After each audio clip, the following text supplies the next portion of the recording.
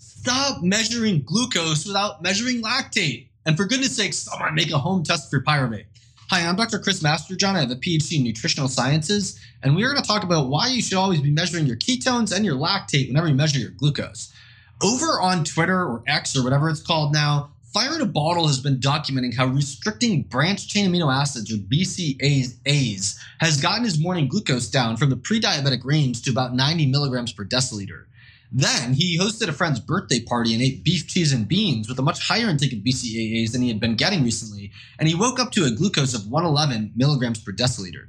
The usefulness of this observation is extremely limited by the irrational testing of glucose without testing the other fuel molecules. There is no rational reason to ever measure glucose alone. As an index of diabetes, even, it's horrible. Diabetes is a disease of elevated glucose, ketones, free fatty acids, lactate, and triglycerides. I put disease in quotations because all it is in its type 2 manifestation is a broad collection of issues causing global dysregulation of energy metabolism.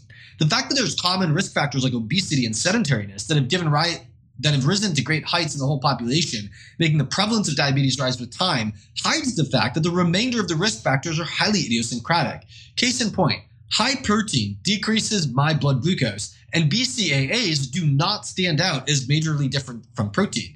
But I can give myself a blood sugar of 111 milligrams per deciliter with biotin or some other nutrient that puts stress on complex 1 of the respiratory chain why BCAAs are an idiosyncratic risk factor for his latent potential to become diabetic, and why biotin is an idiosyncratic risk factor for my latent potential to become diabetic is infinitely more useful knowledge than the fact that all of us could reduce our probability of activating this latent potential within us by being lean and active. Duh, go forth and be lean and active. Now, I know some of you are going to say, well, you make it sound too easy. It's harder than that. Well, if it's not easy, you got to look for the idiosyncratic reason why it's not easy, right? We know how to do it. Eat less food, get more movement, burn more energy. And there's many different dietary approaches that people have used who have lost a lot of weight. If it's difficult to maintain a healthy body composition, that means that we're missing something. But I would argue that what we're missing is understanding our idiosyncratic bottlenecks in energy metabolism. What's the likelihood that my reaction to BCAAs and fire in a bottle's reaction to to BCAAs are opposite when it comes to glucose or when it comes to lactate, which he's not testing. What's the chances then that our body composition reactions to BCAAs are not going to be radically different? Right? So, this is why we need to understand the idiosyncrasies. Now, going all the way down the rabbit hole is going to take a lot of work or cost a lot of money. But there are some simple things that you can do at home, like measure the fuel markers that can help point you in the right direction and it helps a lot to measure the other fuel molecules, not just glucose. So here's four reasons why BCAAs might raise blood glucose in fire in a bottles experiments. Number one, BCAAs all require coenzyme A to be metabolized, also called CoA for short. So does the pyruvate dehydrogenase enzyme. If the BCAA pathways complete themselves, CoA comes and goes. It's used and it's free. There's no problem. If they get stuck in the middle, CoA becomes trapped and pyruvate dehydrogenase cannot move forward.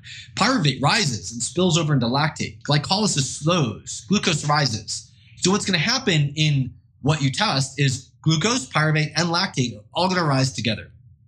Number two, BCAAs disproportionately funnel into complex 2 of the mitochondrial respiratory chain, making them somewhat closer to fat and further away from carbs in how they enter the respiratory chain. If the problem was complex 2 impairment, this would cause reverse electron transport into complex 1, elevate the NADH to NAD plus ratio, and elevate lactate without elevating pyruvate. Glycolysis would, would slow, glucose would go up, lactate would go up, but pyruvate would not.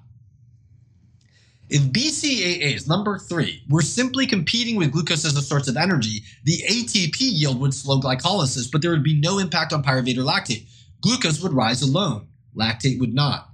If BCAAs were competing with glucose at the level of acetyl-CoA entering the citric acid cycle due to limited supply of oxaloacetate, acetyl-CoA would slow pyruvate dehydrogenase and convert itself into ketone bodies. Ketones would rise, glucose would rise. There would be a less pronounced rise in pyruvate and lactate.